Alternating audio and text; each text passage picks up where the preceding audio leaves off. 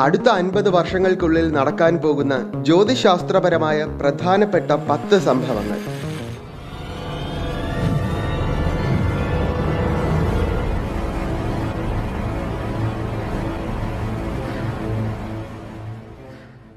രണ്ടായിരത്തി ഇരുപത്തി ഒന്ന് മാർച്ച് മുപ്പത് ജെയിംസ് വെബ് സ്പേസ് ടെലിസ്കോപ്പ് വിക്ഷേപണം ചെയ്യുന്ന ദിവസം. ഹബിൾ ടെലിസ്കോപ്പ് ആയിരുന്നു ഇതുവരെ ഉള്ളതിൽ വെച്ച് ഏറ്റവും ശക്തമായ സ്പേസ് ടെലിസ്കോപ്പ്. എന്നാൽ നാസയുടെ ഏറ്റവും പുതിയ സ്പേസ് ടെലിസ്കോപ്പാണ് ജെയിംസ് വെബ്. അത്യാധുനികമായ സാങ്കേതിക വിദ്യകൾ ഉപയോഗിച്ചാണ് നാസ ഈ ടെലിസ്കോപ്പ് നിർമ്മിച്ചിരിക്കുന്നത്. ഹബിളിനേക്കാൾ നൂറ് മടങ്ങ് അധികം ശക്തിയുള്ള ടെലിസ്കോപ്പാണിത്. ഹബിൾ ടെലിസ്കോപ്പിലുള്ളത് രണ്ട് പോയിന്റ് നാല് മീറ്റർ വ്യാസമുള്ള കണ്ണാടിയാണ്. എന്നാൽ ജെയിംസ് വെബിൽ ഉപയോഗിച്ചിരിക്കുന്നത് ആറ് പോയിന്റ് നാല് മീറ്റർ വ്യാസമുള്ള കണ്ണാടിയാണ്. അതിനാൽ തന്നെ പ്രകാശവർഷങ്ങൾക്കകലെയുള്ള നക്ഷത്രങ്ങളെയും ഗാലക്സികളെയുമൊക്കെ കുറച്ചുകൂടെ വ്യക്തമായി നിരീക്ഷിക്കാൻ കഴിയും. ഈ പ്രോജക്റ്റിന്റെ മൊത്തം ചിലവ് എട്ട് പോയിന്റ് എട്ട് ബില്യൺ ഡോളേഴ്സ് ആണ്. എന്നുവെച്ചാൽ ഏകദേശം അറുപതിനായിരം കോടി രൂപയ്ക്കും മേലെ. ഇൻഫ്രാറെഡ് കിരണങ്ങളുടെ അടിസ്ഥാനത്തിൽ പ്രവർത്തിക്കുന്ന ഈ ടെലിസ്കോപ്പ് ഉപയോഗിച്ച് ഒരുപാട് പഠനങ്ങൾ നടത്താനാകുമെന്ന പ്രതീക്ഷയിലാണ് ശാസ്ത്രജ്ഞർ. രണ്ടായിരത്തി ഇരുപത്തിരണ്ട് വലിയ വിസ്ഫോടനത്തിലൂടെ ഒരു പുതിയ നക്ഷത്രം ജനിക്കും. നമ്മുടെ നഗ്നനേത്രങ്ങളാൽ കാണാൻ കഴിയുന്ന സംഭവമായിരിക്കും ഇത്. അമേരിക്കയിലെ മിഷിഗൻ എന്ന സ്ഥലത്തുള്ള കാൽവിൻ കോളേജിലെ അധ്യാപകനായ പ്രൊഫസർ ലാരി മുല്ലാറും അദ്ദേഹത്തിന്റെ വിദഗ്ധ സംഘവും ചേർന്ന് ഒരു ബൈനറി സ്റ്റാർ സിസ്റ്റം കണ്ടുപിടിച്ചു. ബൈനറി സ്റ്റാർ സിസ്റ്റം എന്ന് വെച്ചാൽ രണ്ട് നക്ഷത്രങ്ങളുള്ള സോളാർ സിസ്റ്റം. ആയിരത്തി എണ്ണൂറ് പ്രകാശ വർഷങ്ങൾക്കകലെയാണ് ഈ സ്റ്റാർ സിസ്റ്റം സ്ഥിതി ചെയ്യുന്നത്. ഈ രണ്ട് നക്ഷത്രങ്ങളും രണ്ടായിരത്തി ഇരുപത്തി രണ്ടാകുമ്പോൾ തമ്മിൽ കൂട്ടിയിടിക്കുകയും റെഡ്നോവ ഇനത്തിൽപ്പെട്ട പുതിയ ഒരു നക്ഷത്രം രൂപം കൊള്ളുകയും ചെയ്യും. അപ്പോൾ അടുത്ത ആറു മാസത്തേക്ക് ഈ പുതിയ നക്ഷത്രമായിരിക്കും ആകാശത്ത് കാണാൻ കഴിയുന്നതിൽ വെച്ച് ഏറ്റവും ശക്തമായി തിളങ്ങുന്ന നക്ഷത്രം.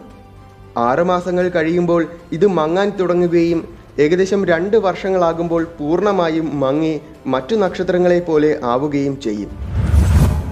രണ്ടായിരത്തി ഇരുപത്തിയേഴ് ഓഗസ്റ്റ്. അതിമനോഹരമായ സൂര്യഗ്രഹണം.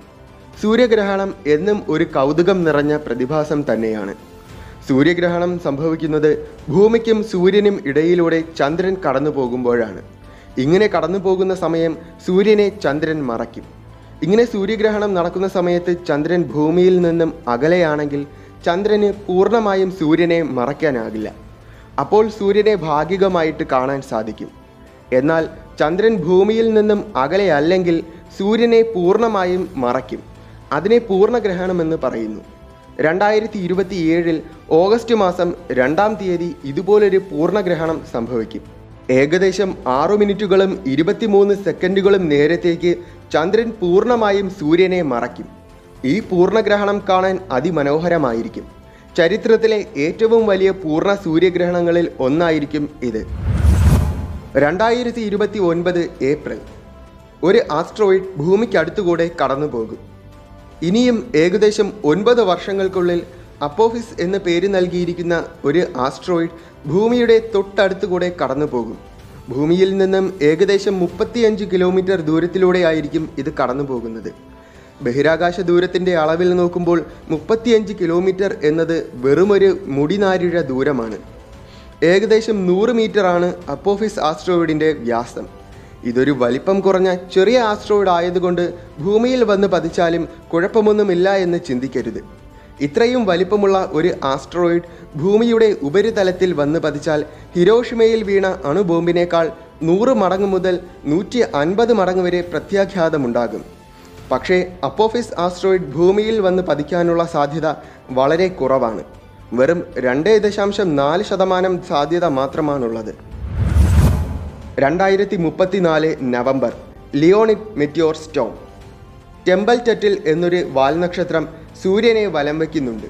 ഒരു തവണ പൂർണമായും വലം വയ്ക്കാൻ മുപ്പത്തിമൂന്ന് വർഷങ്ങളെടുക്കും. ഈ വാൽനക്ഷത്രം ഭൂമിയുടെ ഭ്രമണപഥത്തിലൂടെ കടന്നു പോകുമ്പോൾ അതിന്റെ ചെറിയ പാറക്കഷ്ണങ്ങളൊക്കെ ബഹിരാകാശത്ത് തങ്ങി നിൽക്കുകയും ഭൂമിയിലെ അന്തരീക്ഷത്തിലേക്ക് വന്ന് പതിക്കുകയും ചെയ്യും. വളരെ ചെറിയ പാറക്കഷ്ണങ്ങളായിരിക്കും ഇതെല്ലാം. അന്തരീക്ഷത്തിൽ എത്തുമ്പോൾ തന്നെ ഇതെല്ലാം കത്തി നശിക്കുകയും ചെയ്യും. ഒരു മില്ലിമീറ്റർ മുതൽ ഒരു സെന്റിമീറ്റർ വരെ ആയിരിക്കും ഇതിന്റെ വലിപ്പം. ഈ പാറക്കഷ്ണങ്ങളെ ലിയോണിറ്റ്സ് എന്ന് പറയുന്നു. എല്ലാ വർഷവും നവംബർ മാസത്തിൽ ലിയോണിറ്റ് മെറ്റിയോർ ഷവർ ഉള്ളതാണ്. പക്ഷേ വളരെ ചെറിയ രീതിയിലാണെന്ന് മാത്രം. അതായത് മണിക്കൂറിൽ പതിനഞ്ച് മുതൽ ഇരുപത് പാറക്കഷണങ്ങളായിരിക്കും അന്തരീക്ഷത്തിൽ വന്ന് പതിക്കുന്നത്.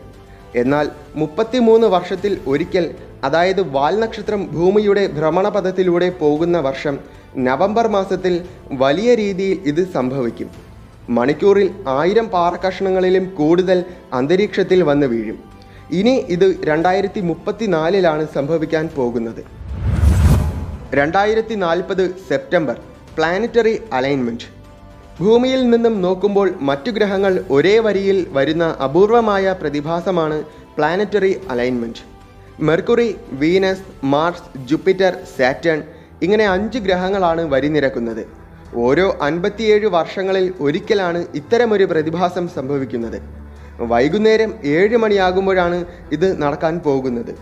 പലരും വിശ്വസിക്കുന്നത് ഇങ്ങനെ ഒരു പ്ലാനറ്ററി അലൈൻമെന്റ് ഉണ്ടാകുന്ന സമയത്ത് എല്ലാ ഗ്രഹങ്ങളുടെയും ഗുരുത്വാകർഷണ ബലം ഭൂമിയെ ബാധിക്കുമെന്നും അത് ഭൂമിക്ക് ദോഷമാകുമെന്നുമാണ്. പക്ഷേ യഥാർത്ഥത്തിൽ അത്തരമൊരു പേടി വേണ്ട. കാരണം ഭൂമിയിൽ നിന്നും ഈ ഗ്രഹങ്ങളെല്ലാം വളരെ അകലെ ആയതുകൊണ്ട് അവയുടെ ഗുരുത്വാകർഷണ ബലത്തിൽ ഉണ്ടാകുന്ന വ്യതിയാനം വളരെ വളരെ ചെറുതാണ്. ചന്ദ്രന് ഭൂമിയിലുള്ള ഗുരുത്വാകർഷണ ബലത്തിന്റെ ആയിരത്തിൽ ഒരു ശതമാനം പോലും മറ്റു ഗ്രഹങ്ങൾക്കില്ല എന്നതാണ് സത്യം. അതുകൊണ്ട് പ്ലാനറ്ററി അലൈൻമെന്റ് നടക്കുമ്പോൾ ഭൂമിക്ക് പ്രത്യേകിച്ച് ഒരു കുഴപ്പവും വരില്ല. രണ്ടായിരത്തി അൻപത്തിരണ്ട് ഡിസംബർ സൂപ്പർ മൂൺ. ചന്ദ്രൻ ഭൂമിയുടെ അടുത്തായിരിക്കുകയും അതേസമയം തന്നെ പൂർണചന്ദ്രനാവുകയും ചെയ്താൽ അതിനെയാണ് സൂപ്പർ മൂൺ എന്ന് പറയുന്നത്. സാധാരണ പൂർണചന്ദ്രനായിരിക്കുന്നതിനേക്കാൾ നാൽപ്പതിനായിരം കിലോമീറ്ററുകളോളം അടുത്തായിരിക്കും സൂപ്പർ മൂൺ സമയത്ത് ചന്ദ്രൻ.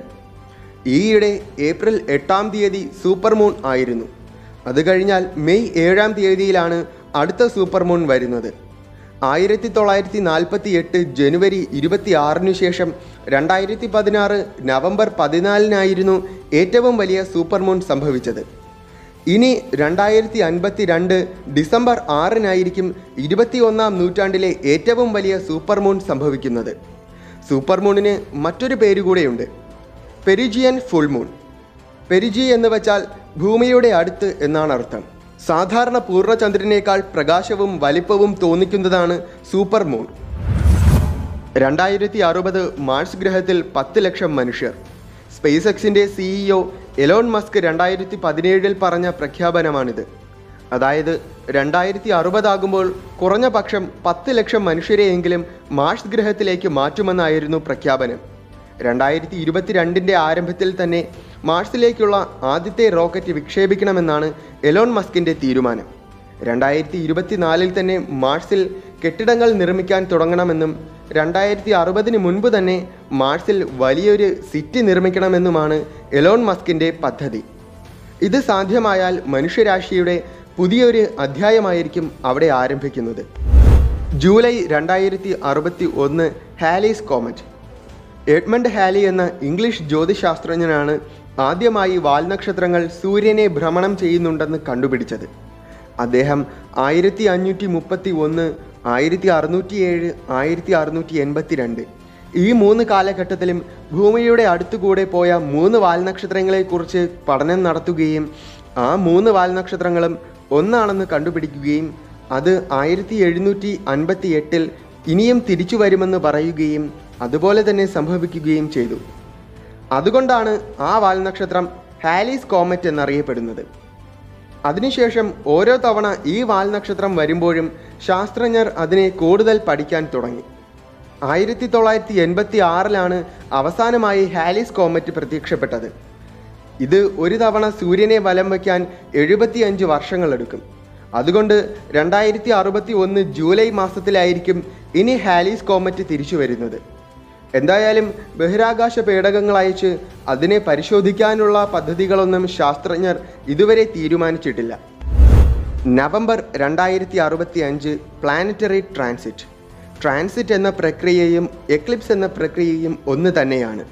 എക്ലിപ്സിൽ ഒരു ബഹിരാകാശ വസ്തു മറ്റൊരു ബഹിരാകാശ വസ്തുവിനെ പൂർണമായിട്ടോ ഭാഗികമായിട്ടോ എങ്കിലും മറയ്ക്കുന്നു.